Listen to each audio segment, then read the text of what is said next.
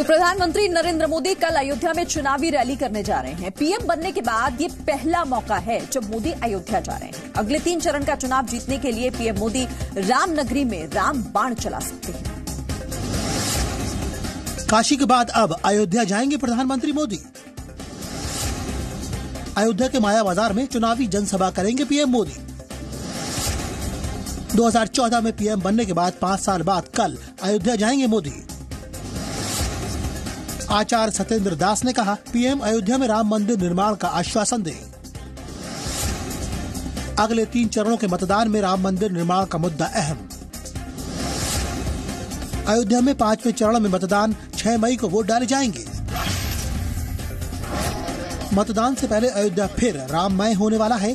कल प्रधानमंत्री मोदी पाँच साल बाद अयोध्या जाएँगे। पीएम मोदी अयोध्या के माया बाज़ार में चुनावी रैली करेंगे। पीएम मोदी फैजाबाद और अंबेडकर नगर की संयुक्त चुनावी जनसभा को संबोधित करेंगे। पीएम की रैली से श्री राम जन्मभूमि करीब 24 किलोमीटर की दूरी पर है। साधु संत भी अयोध्या में प्रधानमंत्री का स्वागत करने के लिए तैयार है, लेकिन वो मंदिर निर्माण के आश्वासन की मांग भी कर रहे हैं।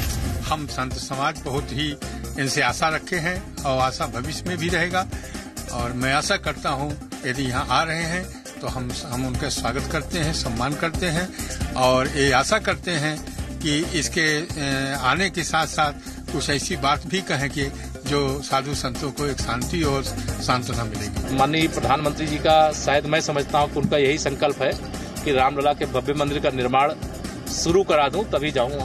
पूरे क्षेत्र में स्थानीय पूज्य साधु संतों से लेकर के, आम नागरिकों से लेकर के जो किसान हैं, नौजवान हैं, और खास करके जो लाभार्थी हैं, जिनको प्रधानमंत्री योजना का लाभ मिला है, ऐसे लोग बहुत उत्साहित हैं, और एक अभूतपूर्व, उत्साहित और उत्सव के माहौल में वो कार्यक्रम संपन्न होगा।